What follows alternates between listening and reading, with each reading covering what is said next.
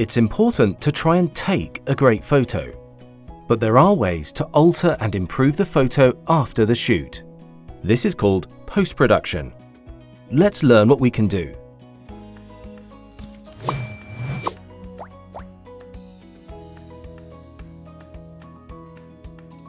Perhaps there's excess space or irrelevant details in the photo. Maybe the focal point needs more emphasis. Cropping is a simple and effective way to improve an image. Let's choose a picture with a lot going on in it. Through cropping, we can pull focus to the subject we want the audience to notice. There, that's a lot better. Use the rule of thirds to find more pleasing compositions.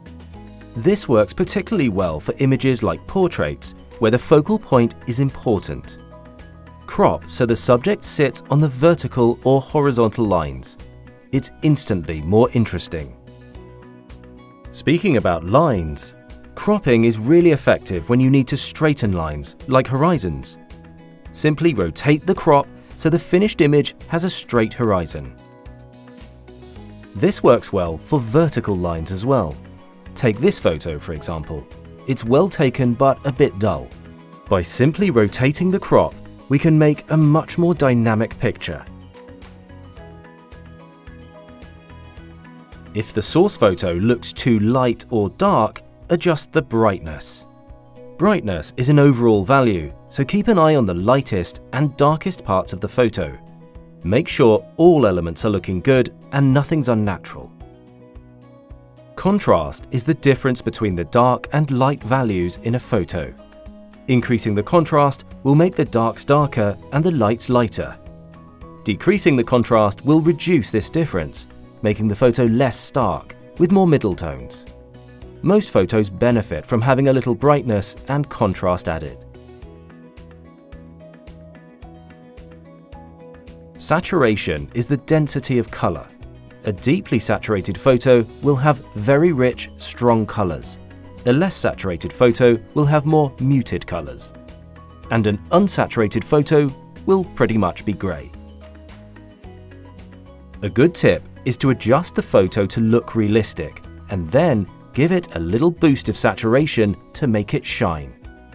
Tinting is like adding a coloured lens over the top. This might help the photo fit within a colour scheme or even change the feeling from warm to cool or modern to retro. Sometimes you can add a gradient tint over the top of your photo. Gradients are defined as a gradual blending from one color to another. Using a white to black gradient will enable you to lighten parts of your photo while dropping others into shadow. The Blur tool softens photos so there are no hard edges or discernible details. This can be useful for editing photos designed to sit in the background. Filters contain a range of predetermined settings that will improve a photo or give it a particular look. Using a consistent filter across a range of photos will bring them together as a collection. This is a familiar idea for any Instagram user.